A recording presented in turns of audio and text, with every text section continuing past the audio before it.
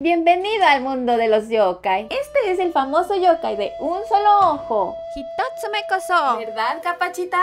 ¡Capapa!